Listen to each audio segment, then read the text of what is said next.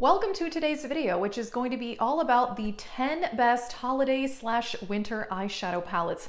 I have been doing so many videos about eyeshadow palettes lately that I did decide to create an eyeshadow palette playlist.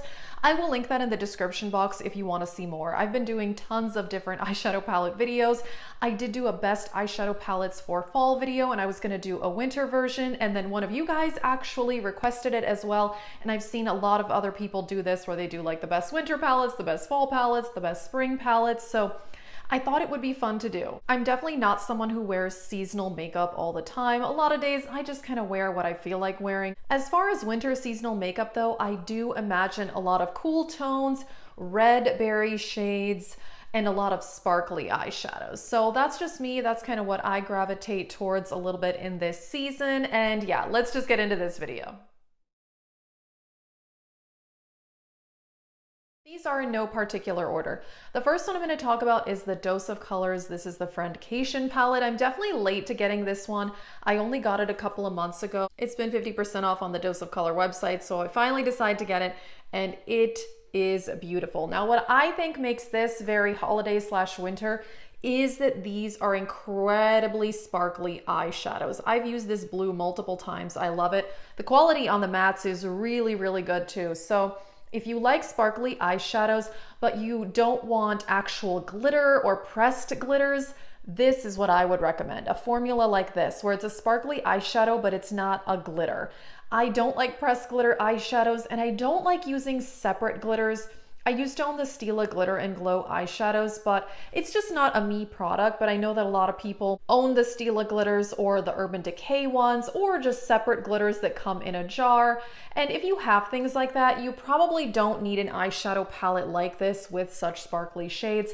But for me, I just think using an eyeshadow that is sparkly is so much easier for me than using a separate additional glitter type product. And I don't want to get glitter in my eyes and things like that. These have not caused me any eye irritation or anything of that matter, but I think this is a beautiful. I love the sparkles. The quality is amazing. I do use a wet brush with these, but I haven't found the need for a glitter glue. And yes, this is a beautiful palette for this time of year. This palette is actually in my winter makeup basket and I wore it in a recent video in my Roulette Pan collab update. This is the Blushing Berries by also Dose of Colors. I really like their five pan palettes. I think their matte formula is very, very high quality. It is a bit powdery, but it blends very well. These are, yeah, four berry shades and a black. Really like the quality on this. Very pigmented, but they're very easy to blend. I will say sometimes really pigmented like reds or magenta shades can be difficult to blend, but not this one. I find this palette incredibly easy to work with. I really enjoy it. I definitely wear these five pan palettes, usually with some glittery, sparkly eyeshadows from other palettes, but of course you could always create an all matte look. So this formula is really good, and I actually have three of these all matte five pan palettes. This next palette is also one that I find to be a very good companion palette, and that is the Pat McGrath. This is the Mini Sublime palette. Now this one is lacking matte shades, so I combine this with palettes with mattes course, you could do an all shimmer look, but what I love about these is the intensity. These are very foiled and metallic, and I don't even need to use a wet brush with them. I absolutely love these, particularly these three. This one is a matte with some shimmer in it, but honestly on the eyes, it just mostly looks matte. I think this is a great quality palette if you want some intense but neutral foiled eyeshadows that are easy to work with this palette is amazing. These have been on sale for a very, very long time. I don't know if she's getting rid of them or what the deal is with that, but they've been 50% off for most of this year. The quality is great though. I really like it. The packaging, it's a little bit cheapy, but I think the quality is great. And again, another really good companion palette. This next one I've talked about so much lately, but it's really, really good. And I cannot stop talking about it. It's the BH Cosmetics Beautiful in Barcelona palette. And to me, I consider this kind of like a winter themed palette because you get these cool tone blues and you do get some cool toned mauve shades. So I think this would really be good for this time of year. I've worn it quite a bit. You do have some warm colors like this peach and this warm brown. So there's definitely a lot of balance to this palette. There's also a lot of darker shades. So if you do like the more smoky looks, This is a great palette. The formula on this it's amazing. I've been raving about BH Cosmetics nonstop lately, and I did recently rank my BH Cosmetics palettes. I think this one is perfect for the winter season and the quality is fantastic. Kind of saving the cooler tone palettes for the end, but this next one, again, I think would be amazing and it is the Milani Bold Obsessions. I know I talk about this one so much. I love it. This one is more warm toned, except these three here are more cool toned. You get these which are incredibly foiled and metallic. The mattes blend so well. This is a palette where you could do some really, really easy daytime looks, or you could do something pretty dramatic for nighttime. I think the quality is fantastic. I love these Milani palettes, and yeah, I think this one is amazing. And I definitely think of like gold eyeshadow for kind of the holiday season and winter for sure. Even though I think a lot of people consider gold more of like a summer color. I don't know. To me, I think more of bronzes in the summer and gold more this time of year. But obviously, you can wear whatever you want whenever you want to wear it. But I think this one is great. Right, before I talk about the more cool tone palettes, I'm just going to give a bit of an honorable mention just to talk about quickly the eyeshadow palette that I am wearing, which is my newest palette, the Natasha Denona Glam palette. I got this with the $25 off coupon from Sephora, and I'm wearing this today, um, which is why I'm mentioning it. And again, this is a cool tone palette. So I gotta say, a cool toned eye look with a red lip like I'm wearing today, I love it. And I think it's super glamorous and very kind of winter and seasonally appropriate. So this is my only first time using this palette, so I cannot give many thoughts on that. I do like how my eye look turned out, but not many thoughts here, but I know that a lot of people do own this palette and I think it would be perfect for this time of year. Now, I also own some other cool tone palettes, which I know a lot of people have done videos comparing these palettes to the Glam palette. Soft and Sultry by Milani. This is amazing. If you want cool toned smoky looks, this is the palette for you. It is still available. It's a little harder to find, just like the Bold Obsessions but they are in stock on the Milani website last I checked. This one has some deeper shades than the Glam palette. The quality on this is really, really amazing. And I will say overall, this does seem a bit even more cool toned than the Glam palette.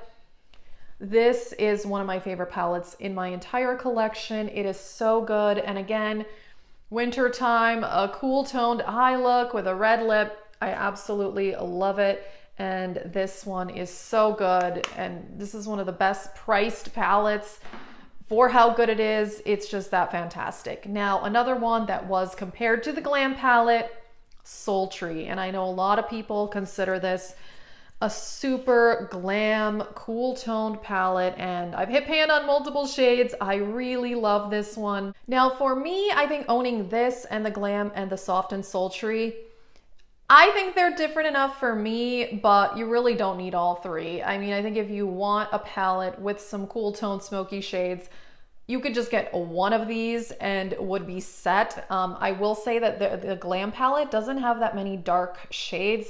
I think the Sultry and the Soft and Sultry have some deeper shades, um, so you can really get that depth in a look. This has this random coral shade, which I don't even know why that's in here, that I do not like that color at all, but I also don't like coral on my eyes. I feel like it makes me look like I have pink eye. But this palette also has some bronzes, amazing chocolate brown here. You get a very gray matte. You get an amazing silver cyborg. I love that one. This palette is amazing and they did re-release it in like a vault type collection that's available on ABH. Um, I don't know if they're going to release just the palette. I think that's kind of weird they released it with the vault. To me, it just seems like a money grab to get people to pay more. I'm not sure. I Maybe they have released just the palette on its own. I think that they should. This is one of the best products ABH has released and I have not had interest in a release from them in a very, very long time, but this one is fantastic. Well, if you want cool tones and you don't like bigger palettes like those, this quad by Charlotte Tilbury is beautiful. This is the Rock Chic quad. And again, very gray and silver, absolutely amazing, very easy to work with, great formula. I gotta say, I'm really impressed with the Charlotte Tilbury quads. I avoided getting them for a long time, even though I was interested. $53 for four eyeshadows is a lot, but I own this one and the Bella Sofia now. I did get them both on sale, but I think they are really good. It's a nice formula and it's just easy to work with. And there's not much to think about because there's only four shades. So I think that the Rock Chic Quad is absolutely amazing. And it definitely pulls more like slate and gray than any of those other palettes that I have mentioned. All right, this next palette to me is kind of like the ultimate New Year's Eve palette, even though I'm not gonna go anywhere for New Year's. And normally I'm not that into New Year's, honestly. It's kind of a stressful holiday for me just because the traffic is crazy and it's impossible to get a cab. Anyway, I digress, but I still like smoky and intense New Year's makeup. This palette is by Ofra Cosmetics. This is their Black Friday palette. I think this was a limited edition thing that they sold this year on Black Friday. I did get this in PR. However, if you have the ColourPop, it's called Blowing Smoke now. It used to be called Smoke Show. That palette seems, again, I don't own it, but it seems awfully similar to this one. Not identical, of course, but I think you could do some really intense cool tone smoky looks. There are a lot of darker shades in this palette, so it's perfect for, you know, an evening look for sure. I really like the Ofra formula. I did a review and a look on my Instagram using this palette and it's really, really interesting. This is pretty unique to my collection. I would say the only somewhat similar one is this um, Charlotte Tilbury quad because the other palettes like the Soft and Sultry and the Sultry, they're not quite this like slate gray. You know, you definitely don't need both of these, but I think if you have that ColourPop one, it seems awfully similar to these and you could do some pretty awesome gray slate smoky looks. The last palette is one I have talked about so much, but I can't stop talking about it. I love it that much, and that is the BH Royal Affair palette. Again, this has some amazing cool tones. You do get a silver, but this one also does have a few burgundies in here, which I think are really nice, and some a taupey bronze. I really love this palette. It really is one of my favorite in my collection. I feel like BH Cosmetics needs to re-release this one because it's that good. So this one, I think there's a lot of variety. Also, this awesome light blue shimmer here is super cool. It's kind of similar to my nail polish.